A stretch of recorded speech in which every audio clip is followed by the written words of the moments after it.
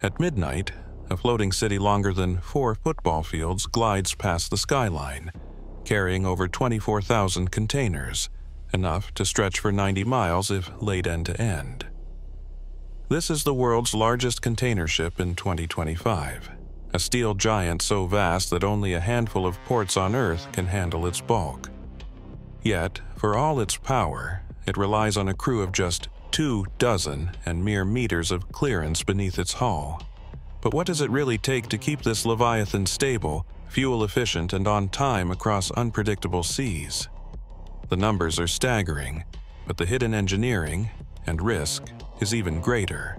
Here's what few ever see inside a ship that moves the world 20 foot equivalent unit, TEU. It's the language of the world's trade, but to most people, it's just a string of letters.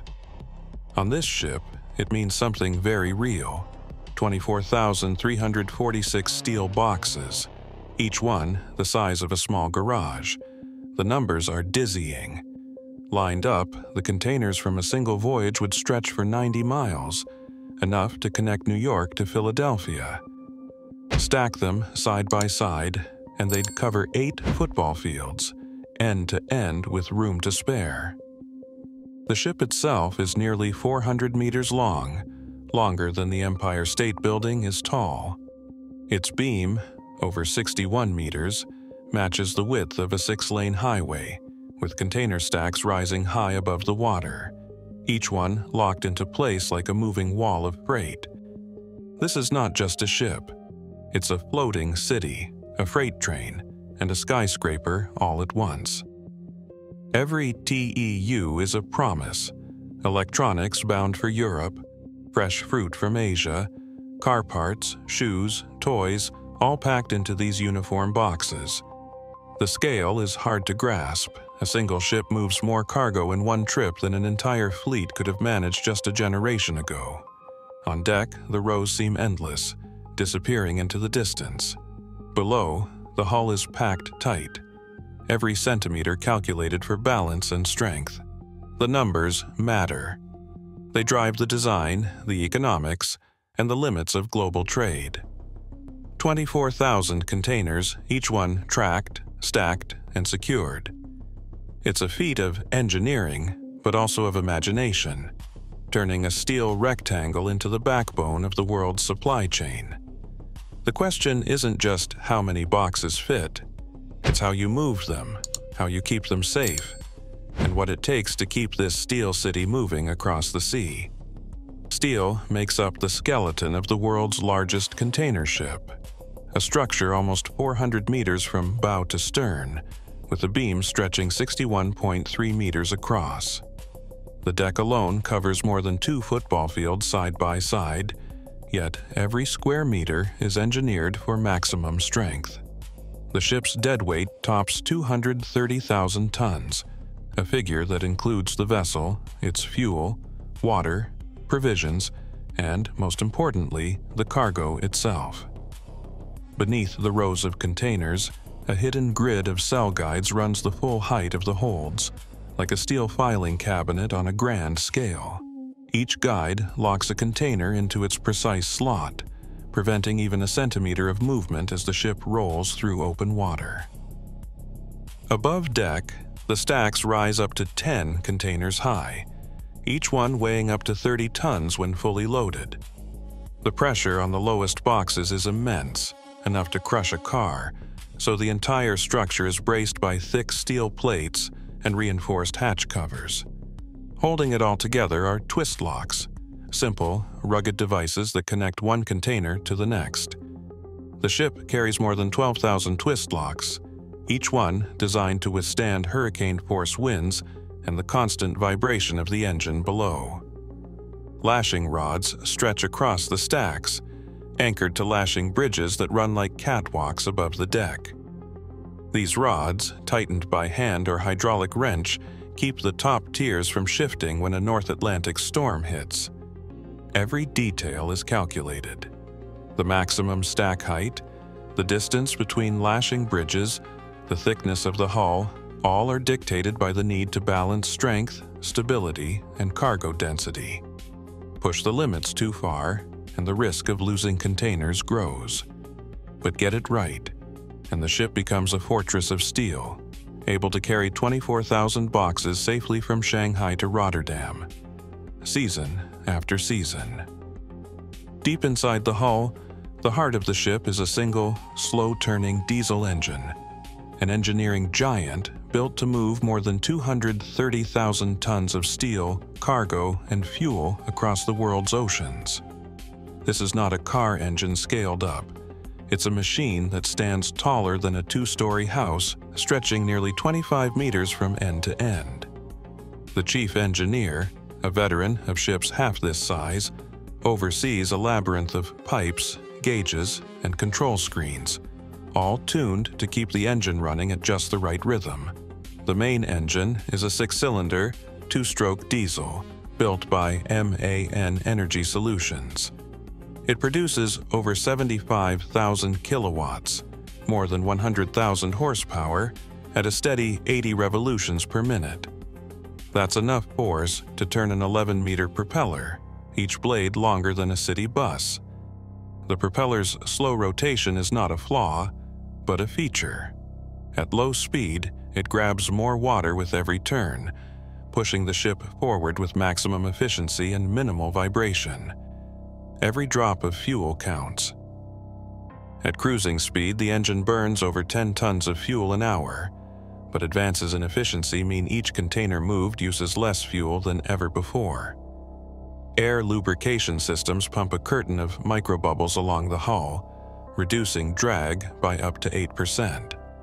Special low-friction coatings on the steel skin further cut resistance.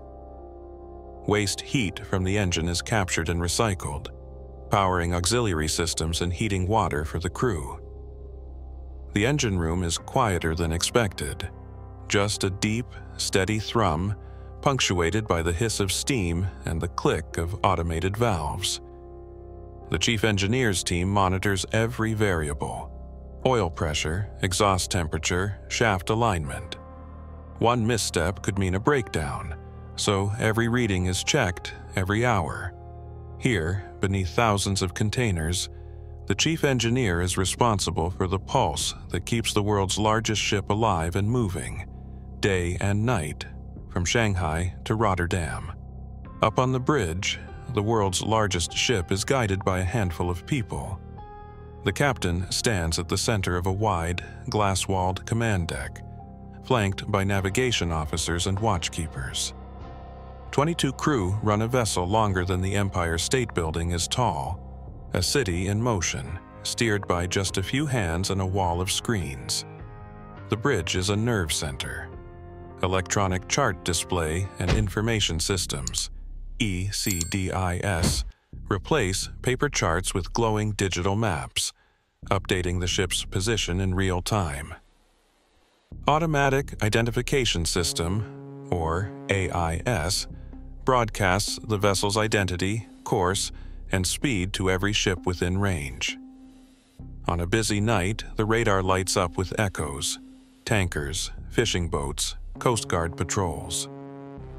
The officer of the watch scans the horizon, cross-checking every blip against the ECDIS and the AIS feed. Redundant radar units sweep for targets, while alarms stand ready to warn of any collision risk. Routine is everything. The crew works in cycles, four hours on, eight hours off, rotating through watch duties day and night. The captain's day starts before sunrise, checking weather updates, reviewing the next port's approach, and walking the bridge to confer with the chief mate. At noon, the galley serves a hot meal rice, fish, sometimes a birthday cake if there's cause. Laughter carries down the companionway, but the mood on the bridge stays focused, even during quiet stretches. Every decision is double checked the captain consults with the navigation officer before each course change. A wrong turn could mean a delay worth millions. Even with all the automation, it's human judgment that keeps the ship safe, adjusting speed for a fishing fleet ahead, calling the engine room to prepare for a sharp maneuver, or watching for the sudden squall that can sweep across the open sea. From the bridge, the bow is a football field away. At night, the only sound is the low hum of electronics and the distant thrum of the engine. The city sleeps, but the bridge never does. A ship this size is always fighting gravity. Stack too many containers high, or load the wrong weight in the wrong bay, and the entire vessel can start to roll like a slow pendulum, dangerous, relentless, impossible to stop by hand. The secret to taming these forces lies in the ship's hidden network of ballast tanks. Dozens of compartments run along the double bottom and deep into the sides of the hull, ready to be filled or emptied with seawater at a moment's notice. The chief engineer stands before a digital ballast control panel, watching a live map of the ship's trim, heel, and metacentric height, the measure of how stubbornly the vessel resists tipping. Every adjustment is calculated. Every ton of water shifted to keep the center of gravity low and the ship upright, even as wind and waves try to push her off balance. Above deck, the battle continues with steel and tension. Each stack is locked down by twist locks and braced with lashing rods, more than 20,000 rods per voyage. Each one rated to withstand the force of a hurricane. Lashing bridges run the width of the ship, giving crew access to secure the highest tiers. But the real muscle comes from software. The ship's stability program simulates every possible loading scenario, checking that the forces on each rod and twist lock stay within safe limits. It's a living calculation, updated with every container loaded or discharged, every ballast tank pumped. One miscalculation and the ship could roll too far, risking cargo loss or worse. The chief engineer's vigilance is the last line of defense, a constant, silent guard against the physics that threaten to topple this moving city. Twelve nautical miles from port, the pilot boat races alongside, matching speed with the world's largest container ship. The harbor pilot stands ready, helmet strapped, eyes fixed on the towering hull. In this moment, centuries of seafaring tradition meet the scale of 2025, a single person climbing a rope ladder, about to take charge of a floating city. The wind whips across the deck as the pilot boards, greeted by the captain and escorted straight to the bridge. Here, the handover is quiet but absolute. The pilot's voice comes steady over the radio. Reduce RPM to standby. Prepare for tugs on both sides. Two tugboats close in, dwarfed by the ship's beam, each one capable of delivering over 80 tons of pulling force. Their masters coordinate by radio, every move rehearsed but never routine. With the main engine turning at controlled revolutions, the pilot calls for a slow swing to starboard. The tugs push in unison, pressing their rubber bows against the steel hull, holding the ship steady against wind and current. Any miscalculation here, a slip, a surge, a late command, could drive 230,000 tons of ship off course, risking disaster for ship and port alike. On the bridge, the pilot's commands are clipped and precise. Port, tug, push full starboard, ease, helm midships. The ship answers slowly, her momentum a force of nature. As the bow aligns with the channel entrance, the tugs back off, engines churning white water. The ship inches forward, guided by human judgment and machine muscle, threading the needle into the world's busiest terminal. The city is now in the hands of the harbor, every second, every meter, a test of coordination and trust. Five cranes line the quay, their booms arcing out over the world's largest container ship like the arms of a mechanical orchestra. Each crane towers nearly 60 meters above the dock, built to reach across 24 rows of containers and pluck steel boxes from the highest stacks. The operator sits in a glass cab, suspended above the ship, joystick in hand. Every move is logged, every box tracked, In the control room, the terminal operations manager watches a wall of screens, monitoring crane cycles and yard traffic in real time. The target? Up to 35 moves per crane every hour for a total of more than 5,000 container exchanges before the ship sails again. Below, a fleet of automated guided vehicles, AGVs, waits for their cue. As soon as a container touches down, an AGV glides into position, lifts the box, and whisks it away to the yard. There, automated stacking cranes sort and store hundreds of containers at a time, guided by algorithms that optimize every meter of space and every second of movement. The choreography is relentless. Cranes, AGVs, and yard machines working in sync, each one feeding the next, never pausing. A single misstep, a late AGV, a misplaced box, cascades through the operation, threatening the ship's tight turnaround window. In this world, speed and precision are everything. The ship cannot afford delays. Every container must be in the right place, at the right time, or the entire supply chain feels the impact. The terminal operations manager's job is to keep the flow unbroken, a dance of steel and software that connects the sea to the land and the world to its goods.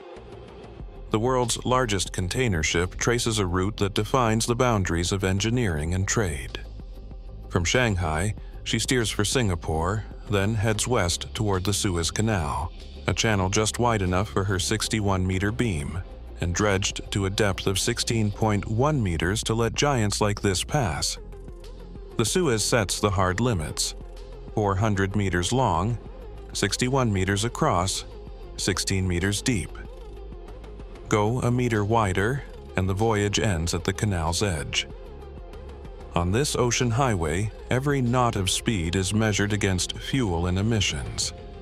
Logistics planners, armed with real-time weather and port data, set the ship's pace for maximum efficiency. Slow, steaming, cruising at 16 to 18 knots, cuts fuel use by up to 40% compared to older, faster runs. The main engine burns very low sulfur fuel oil, and hybrid scrubbers strip out most of the sulfur before the exhaust ever hits the sky. On some ships, dual-fuel engines stand ready for LNG or methanol when the infrastructure catches up. Each voyage becomes a balancing act. Keep the schedule tight, slash emissions, and squeeze every possible saving from the scale. The numbers tell the story. A 24,000 TEU ship offers a 35% cost edge per container over a 14,000 TEU vessel, if every box is filled. But the edge comes with limits. Only a handful of ports can handle ships this size, and the Suez Canal's dimensions draw a clear line under how much bigger these ships can get. Shipyards are now studying wider hulls and greener engines, but the next leap will demand more than just steel and fuel. It will take a new vision for what global shipping can be.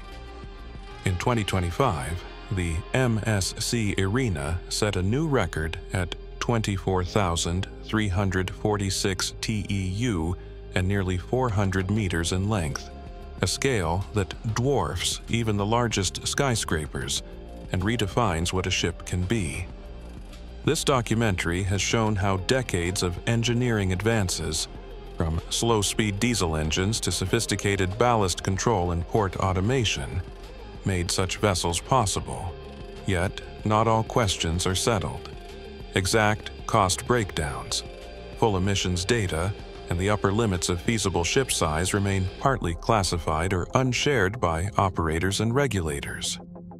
What is clear based on shipping records and Port Authority reports, is that only a handful of ports worldwide can serve these giants, and their impact on trade routes, fuel use, and infrastructure is profound. As the world's largest container ships sail between continents, their existence marks both the triumphs and the challenges of global logistics in 2025. Kiev.